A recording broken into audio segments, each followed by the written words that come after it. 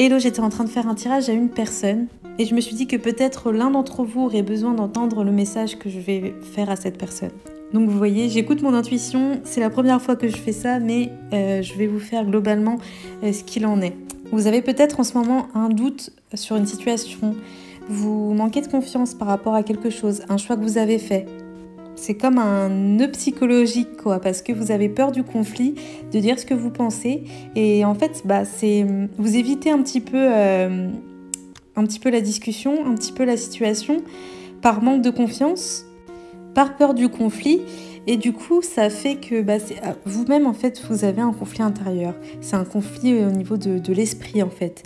Vous avez énormément de difficultés à extérioriser et des difficultés pour appréhender la situation.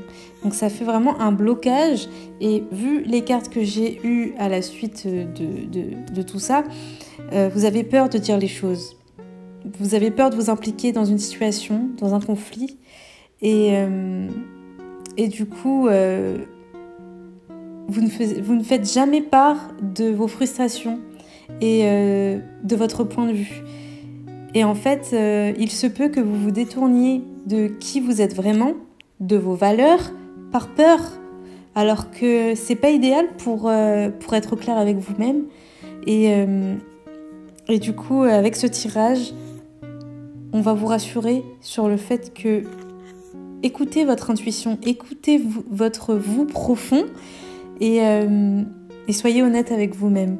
D'accord? Dites les choses et gardez pas tout en vous.